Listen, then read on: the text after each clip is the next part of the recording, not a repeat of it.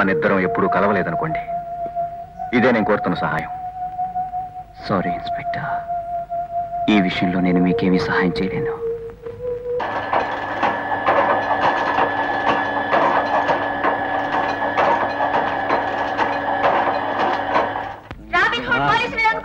ఏం బాబు, పేపర్ ఇవ్వు లొంగిపోయాడు తాజా వార్త రాబిన్ హుడ్ పోలీసులు లొంగిపోయాడు రాబిన్ హుడ్ పోలీసులు లొంగిపోయాడు ఏంటి రాజునుడు పోలీసులు లొంగిపోయాడా? రేపు కోర్టులో నీ తరఫున లాయర్ పెట్టుకోవడానికి నిరాకరించవటగా నాకు ఈ కేసు పోరాడాలని లేదు. నేనేం చేయాలనుకున్నానో అది చేశాను. అందుకు నేనేం పశ్చాత్తాపడటం లేదు. నా జీవితం కొరకు ఎవరైనా పోరాడటం నాకిష్టం లేదు. నీకు లేకపోయినా నాకుంది ప్రభాకర్. చట్టబద్ధంగా మన ఇద్దరు వివాహం జరగకపోయినా మానసికంగా నేను నీకెప్పుడూ అర్థంగినైపోయాను నా అనువనువు నువ్వే. నన్ను నేను కాపాడుకుని తీరుతాను. కాదనే హక్కు ఎవ్వరికీ లేదు. ఐ ఫైట్ ఫర్ యూ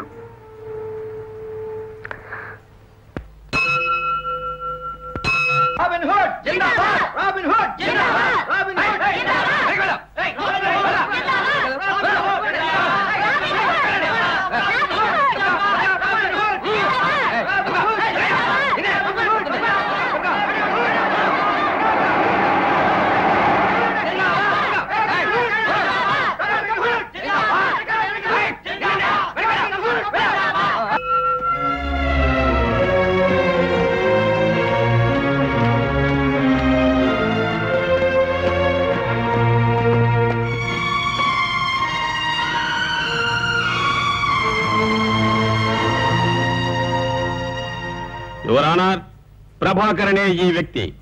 పైకెంతో అందంగా అమాయకంగా కనిపిస్తూ పగటిపూట ప్రొఫెసర్గా పిల్లలకి పాఠాలు చెప్తూ రాత్రిపూట పైశాచిక కృత్యాలు చేసే పరమ కర్కోటకుడు. పది రోజుల్లో పదహారు హత్యలు చేసి ప్రపంచ రికార్డును బద్దలు కొట్టి రాబిన్ హుడ్ను సైతము అధిగమించిపోవాలన్న ఆలోచనతో ఇతను చేసిన దారుణాలు నాగరికతకే గొడ్డలి పెట్టు సాటి మానవులను చంపి చంపి అలసిపోయిన ఈ వ్యక్తి తను చేసిన నేరాలను ఒప్పుకోవటం కూడా ఒక సాహసచర్యన్న అన్న దురాలోచనతో ప్రభుత్వానికి లొంగిపోయాడని నా అభిప్రాయం.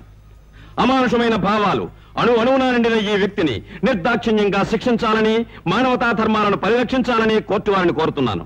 మిస్టర్ ప్రభాకర్ మీ మీద ఆరోపించబడిన నేరాలు మీరే చేసినట్లు అంగీకరిస్తున్నారా? అంగీకరిస్తున్నాను. యువర్ ఆనర్ కోర్టు వారు క్షమిస్తే మీరు అడిగిన ఆ ప్రశ్న అర్థం లేనిదని అడగకూడదని నేను అభిప్రాయపడుతున్నాను. ఏ ఎందుకని? ప్రొఫెసర్ ప్రభాకర్ తను ఏ నేరం చేయలేదని సమాధానం చెప్తే అయ్యో పాపం తను చేయలేదంటున్నాడు కదా అని మీరు వదిలిపెడతారా? యువర్ ఆనర్ గౌరవనీయులైన పబ్లిక్ ప్రాసిక్యూటర్ గారు తమ వాక్చాతుర్యంతో ప్రొఫెసర్ని రకరకాలుగా సంబోధిస్తూ హంతకుడుగా ముద్ర వేసేశారు. కానీ అతను హంతకుడే రుజువు చేయడానికి ఒక్క సాక్ష్యాన్ని కూడా చూపించలేదు. కోర్టు వారి ఈ విషయాన్ని ప్రత్యేకంగా గమనించవలసిందిగా కోరుతున్నాను. హత్యలు చేసే సాహసం సాక్షులే దొరకకుండా చేయగల సామర్థ్యం ఈ ఉద్దండు ఉగ్గుతో నేర్చుకున్న విద్యలు. అయినా నిజంగా తను ఏ నేరం చేసి ఉండకపోతే పోలీసులకు ఎందుకు లొంగిపోతాడు? ఇలా బోన్లో ఎందుకు నిలబడతాడు? అదే అదే యువరానర్ ఆ ప్రశ్నే ప్రొఫెసర్ అడగమంటున్నాను. తనెవరు? తన ఉనికి ఏమిటో ఏం చేశాడో? ఎందుకు చేశాడో? తాను చేసిన పనికి ఏ సాక్ష్యాధారాలు లేకున్నా తనే దోషినంటూ చట్టానికి ఎందుకు లొంగిపోయాడో అడగండి యువరానర్ ఈ ప్రశ్నలకు సమాధానం చెప్పానండి మిస్టర్ ప్రభాకర్ మీరు ఈ విషయంలో ఏదైనా చెప్పదలుచుకున్నారా? యువరాను నేనేమిటో ఏం చేశానో ఎందుకు చేశానో చెప్పడానికి ముందు సర్వ ప్రపంచానికి సంస్కారాన్ని నాగరికతను నేర్పిన ఈ దేశ పరిస్థితి నానాటికి ఎంత దిగజారిపోతుందో చెప్పాలనుకుంటున్నాను నా పోరాటం వ్యక్తిగత పోరాటం కాదు. నాకు శిక్ష పడుతుందా లేదా అన్నది కాదు. ప్రస్తుతం మన దేశవాసులు సుఖంగా జీవిస్తున్నారా లేదా అని. ఈ రోజు మన దేశంలో జరుగుతున్నదేమిటి ఆందోళన అలజడి అల్లర్లు అరాచకం ఆకాశాన్ని అంటుతున్నాయి. దోపిడీ దౌర్జన్యం లంచగొడ్డితనం మానభంగాలు విచ్చలవిడిగా బహిరంగంగా బాహాటంగా జరిగిపోతున్నాయి. మానవత్వాన్ని మంట కలుపుతున్నా నీతి నియమాల్ని సమాధి చేస్తున్నా శాంతిని సగర్వంగా చంపుతున్నా పోనీ లేని ఊరుకుంటున్నారు పోలీసులు. తనకేమీ పట్టనట్టు కళ్ళకు గంతలు కట్టుకుని దాగుడు మూతలాడుకుంటోంది చట్టం. ఆ తుఫానులో అహోరులో హోరులో చిక్కుకుని పరిస్థితిని ఎలా ఎదుర్కోవాలో అర్థం కాక ఏం చేయాలో తోచక చివరకు శాంతిని స్థాపించడానికి హింసా మార్గమే శరణ్యమనుకున్నాను. నేరాన్ని రూపుమాపడానికి నేరం చేయడం సరైన మార్గం ఎలా అవుతుంది? చంపడం నేరం అని చెప్తూ ఆ నేరం చేసిన వాడిని ఉరి తీసి చంపమంటున్న మీ చట్టాన్ని ఈ బోన్లో నిలబెట్టి అడగాల్సిన ప్రశ్న అది. చట్టాన్ని భూమిలోకి రప్పించడం ఎలా వీలుపడుతుంది? వీలు పడుతుంది యువర్ ఆనర్. ఆ చట్టాన్ని ప్రవేశపెట్టడానికి నిలదీసి ప్రశ్నించడానికి మీ అనుమతి కోరుతున్నాను. మీరు చెప్పదలుచుకున్నది ఏమిటో సూటిగా చెప్పండి. జస్టిస్ సత్యమూర్తి గారిని బోన్లోకి ఆహ్వానించమంటున్నాను.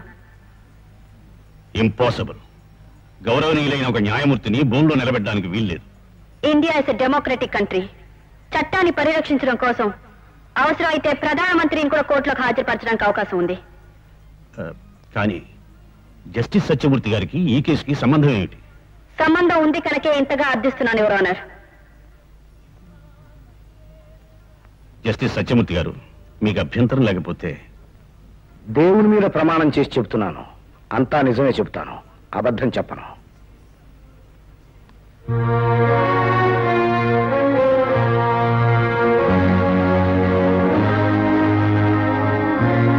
జస్టిస్ సత్యమూర్తి గారు పోయిన నవంబర్ ఇరవయో తారీఖు మీకు గుర్తుందా? ఆ రోజున ఏమైంది? ఆ రోజునే మానభంగంతో పాటు హత్య కూడా చేయబడిన కేసు ఒకటి మీ విచారణకు వచ్చింది. గుర్తుందా? అలాంటి కేసులు రోజు వస్తూనే ఉంటాయి. ప్రత్యేకంగా గుర్తుంచుకోవాల్సిన అవసరం లేదే. ఆ కేసులో దోషి దిలీప్ కుమార్ ఒక ధనవంతుడు మేనల్లుడు. అతని తరఫున సాక్ష్యం చెప్పడానికి ఢిల్లీ నుంచి ఒక మంత్రి గారు కూడా వచ్చారు. అవునా? ఆ అవును. కానీ మీరు అతని నిర్దోషణని తేలుస్తూ గౌరవపూర్వకంగా వదిలేశారు కదూ? అవును. ఎందుకు వదిలేశారో తెలుసుకోవచ్చా? నేను ఈ ప్రశ్నకు సమాధానం ఇవ్వటానికి నిరాకరిస్తున్నాను. నిష్క్రాంతి ఒక జడ్జి ఇచ్చిన తీర్పును ప్రశ్నించే అధికారం ఎవరికీ లేదు. ఐఎమ్ సారీ యువర్ ఆనర్ ఆ రోజు మంత్రి గారు స్వయంగా వచ్చి చెప్పారని కదా దిలీప్ వదిలేశారు? నిష్క్రాంతి ఈ కేసు ప్రొసీడింగ్స్లో ఉన్న దాని గురించి నేను మాట్లాడుతున్నాను. ఈ పోస్ట్ మార్టం రిపోర్ట్ ప్రకారం శవం గోడలో ఉన్న రక్త మరకలు తల వెంట్రుకలు దిలీప్ రేనని రుజువైంది. జస్టిస్ సత్యమూర్తి గారు ఈ సత్యాన్ని మీరు ఎందుకు త్రోసిపుచ్చారు ఒక జడ్జి ఇచ్చిన తీర్పు మీద తర్క వితర్కాలు చేయకూడదని మరొకసారి హెచ్చరిస్తున్నాను. నేను తర్క వితర్కాలు చేయటం లేదు యువర్ ఆనర్ పోస్ట్ మార్టం రిపోర్ట్లో తెలియని సత్యాన్ని ఎందుకు నిరాకరించారని మాత్రమే అడుగుతున్నాను. హత్య జరిగిన సమయంలో నిందితుడు దిలీప్ తన పక్కనే ఉన్నాడని బాధ్యతాయుతుడైన ఒక ప్రజాప్రతినిధి చెప్పిన సాక్ష్యం చాలా విలువైందని నేను గుర్తించాను. ఢిల్లీలో ఉన్నట్టు కల్పించుకోవచ్చు మంత్రి గారి చేత అబద్ధం సాక్ష్యం చెప్పించుకోవచ్చు. కానీ రక్తాన్ని తల వెంట్రుకలు కల్పించలేం. శవాల చేత అబద్ధాలు చెప్పించలేం. యువర్ ఆనర్ కుమారి సుధ శవం తన్ని మానభంగం చేసి చంపింది దిలీపే దిలీపే అని ఎంత అరిచి మొత్తుకున్నా?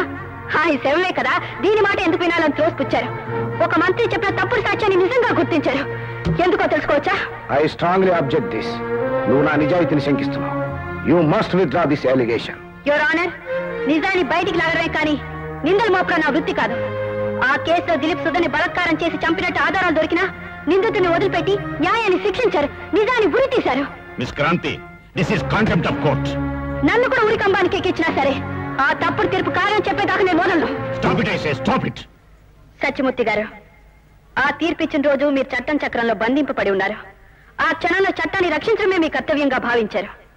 ఇప్పుడు మీరు స్వేచ్ఛాజీవులు. మీకు ఏ హద్దు అదుపు లేదు.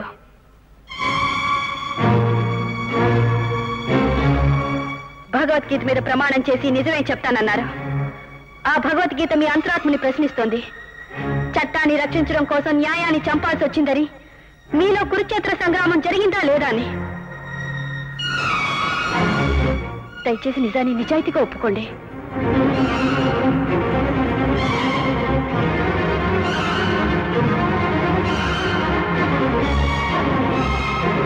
ఒక న్యాయ నిర్ణేత హృదయంలో ఎప్పుడూ కురుక్షేత్ర సంగ్రామం జరుగుతూనే ఉంటుంది. చట్టాన్ని రక్షిస్తూ రక్షిస్తూ ఒక్కోసారి న్యాయాన్ని కాపాడుకోలేకపోవచ్చు.